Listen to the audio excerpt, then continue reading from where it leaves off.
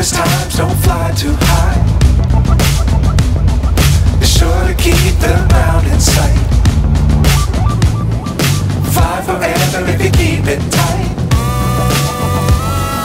Love the world and keep the sky on your mind.